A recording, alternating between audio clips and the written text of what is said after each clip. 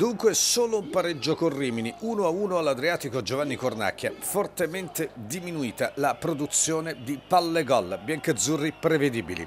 L'ennesima conferma, buona rosa, non da primato ma involuzione chiara e già duratura. Certo l'organico è questo, con i limiti già denunciati a tempo debito, ovvero a fine mercato, venuti fuori in maniera evidente nell'ultimo mese. Ok la punta, ma le maggiori criticità sono a centrocampo. Ciò malgrado adesso la squadra sta facendo male, giusto rimarcarlo senza tuttavia drammatizzare.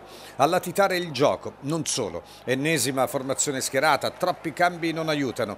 Al netto delle assenze, Mesic e Tuniov ben 5 rispetto alla trasferta di Carrara. Se fino a qualche settimana fa i biancazzurri non riuscivano a concretizzare le tante opportunità da gol create, ora il problema è opposto. È infatti diminuita in modo marcato la produzione di occasioni occasioni.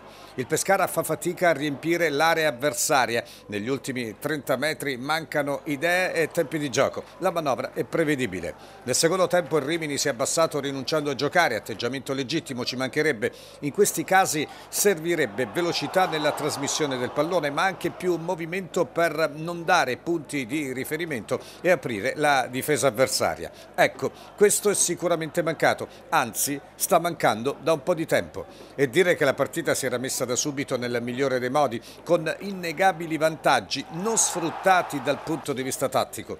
Anche facendo poco le squadre avversarie trovano sempre il gol.